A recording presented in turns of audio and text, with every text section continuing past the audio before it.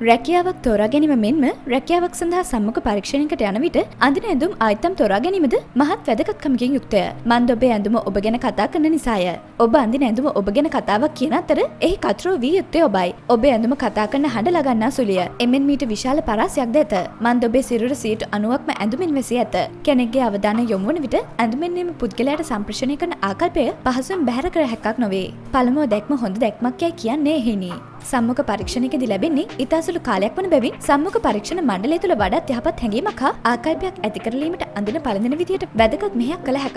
අදහස සංනිවේදනය කිරීමේදී ප්‍රමුඛතම කාර්ය කරනු ලබන්නේ භාවිත වචන නොවේ. ඉන් 55%ක්ම ආවරණය වන්නේ බාහිර පෙනුමින් හා භාෂාව සඳහා ප්‍රකාශයට සිරුර භාවිත කරන ආකාරයෙනි. මේ ආකාරයට ඇඳුම් පැළඳුම් පෞරුෂය හුවා දක්වන එක් වැදගත් අංගයක් ලෙස පෙන්වා දිය හැක. කිසියම් රැකියාවකට යාමේදී එම රැකියාවකින් අපේක්ෂිත පෞරුෂයක් තිබෙන අතර එම පෞරුෂයට ගැලපෙන ලෙස හැඳ පැළඳ සිටීමද අවශ්‍ය වෙයි. ගුරුවරියක් පිළිබඳ පිළිබඳ චිත්‍රයක් ගුවන් සේවිකාවක් පිළිබඳ චිත්‍රයක් අප විසින්ම මවාගත හොත් අපි මතකේ විසින් අප රැගෙන යන්නේ එකිනෙකට හත්පසින් වෙනස් ලෝක දෙකක් වෙතයි. මෙහි මූලික වෙනස ඇඳුමත් සමග රැඳී ඇති බවට සැකයක් නැත. ඇඳුම පුද්ගලයාගෙන් පුද්ගලයාටත් අවස්ථාවෙන් අවස්ථාවට තැනින් තැනටත් වෙනස් වේ. මේට සංස්කෘතික ලක්ෂණ, දේශගුණික ලක්ෂණ මෙන්ම පුද්ගල විශ්වාසයන් හා අගයන්ත බලපෑම් කරනු ඇත. පොදුවේ ගත් කල ඔබ කිලිටි හෝ අපිලිවල ආකාරයට අඳින්නේ නම් අපේ බොහෝ විට ඔබව මනිනු ඇත්තේ අපිලිවල හෝ තමාගෙන කිසිදු තැකීමක් නොමැති අයෙකු ලෙසය. ඔබේ හැසිරීම ඔබේ ස්වභාවය කියාපාන්නේ යම්සේද ඔබේ ඇඳුම් අයිතම්ද ඔබේ ඇතුළන්තේ විදහපාන බැව් මේ අයුරින් පෙනී යයි. ශරීරයේ ස්වභාවය අනුව ඇඳුම් තෝරා ගැනීමෙන් ඕනෑම පුද්ගලෙක්ට තමාගේ බාහිර පෙනුමද කිසියම් වෙනසක් හුවා දැක්වීමට පුළුවන. නිදසුනක් ලෙස ඔබ එතරම් නොවුස් මිට අයකු නම් තිරස් පළල් ඉරිමුදුරිත ඇඳුම් ඇඳීමෙන් ඔබ මිටි බව තවතවත් කැපී පෙනුන ඇත. මේ ආකාරයට උස තරබාරු කෙට්ටු හෝ සිහින් සිරුරත් තිබීම නැත්තම් සිරුරේ පැහැය සුදු තලලු යනාදී ලෙස විවිධාකාරය තිබීම ඇඳුම් පැළඳුම් තේරීමේදී සැලකිල්ලට භාජනය කළ යුතුය.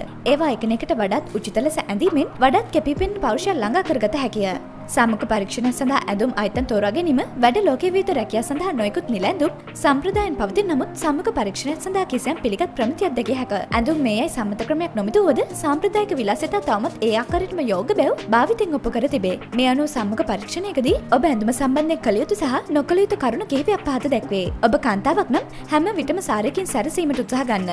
සාරිය හැම විටම සම්මුඛ පරීක්ෂණය සඳහා යෝග්‍ය වේ. මේ පිළිවෙලට ඇඳීම කළ යුතුය. සාරිය නියමිත උසට ඇඳීම වැදගත්ය. සාරිය ඇඳීමට පෙර සපත්තු ඇඳීම කළ යුතුය. තද වර්ණයෙන් හා වැඩදෙමු සාරි සම්මුඛ පරීක්ෂණයකදී නොඇදිය යුතුය. දිග කලිසම් අඳින ඇඳුමක් නම් හිරවන ආකාරයේ කලිසම් හා ඩෙනිම් කලිසම් ඇඳීමෙන් වැළකිය යුතුය.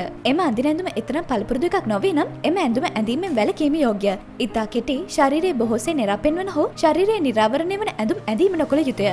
හැම විටම පුරුදු පහසු ගැලපෙන සපත්තු භාවිතා කරන්න. සපත්තුවේ වර්ණය ඇඳුමේ වර්ණයට ගැලපේද යන පිළිබඳව සැලකිලිමත් වන්න. කිසිදු අවස්ථාවකදී ක්‍රීඩා කිරීමේදී පල් දෙන සපත්තු භාවිතා නොකළ යුතුය. හැම විටම ඇඳුමට ගැලපෙන ඉතා සරල ආභරණ වලින් සැරසෙන්න.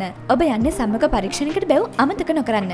භාවිතා කරන සුවඳ විලවුන් ඉතා මෘදු සුවඳකින් යුක්ත විය යුතු අතර දැඩි සුවඳක් ගෙන දෙන විලවුන් භාවිතා නොකිරීම ඉතා යෝග්‍ය. ඔබේ දෙයත් ඔබ ගැන කතා කරන බැවින් හැම විටම දෙයත් හා දෙපා පිරිසුදුව තබා ගන්න. නියාලෙපන ගල්වන විට තද රතු හෝ එබඳු තද වර්ණ භාවිතෙන් වළකින්න. හැම විටම ඔබ මේකප් කළ යුතු වන්නේ තවත් දැකුම් කළ වීමටත් පියකර බව කැපී පෙනීමටත් පමණි. එබැවින් කොණ්ඩේ සැකසීමේදී හා ආලේපන තැවරීමේදී ඉතා සරලව හා යෝග්‍ය ලෙස කිරීමට සිහි තබා ගන්න. ඔබ පිරිමෙක් නම් අඳින කලිසම් හා කමිසේ වර්ණ ගැලපීමෙන් යුක්ත විය යුතුය. නිල ඇඳුම බඳු එකම වර්ණය කලිසම් හා කමිස එකට ඇඳීම නොකළ යුතුය.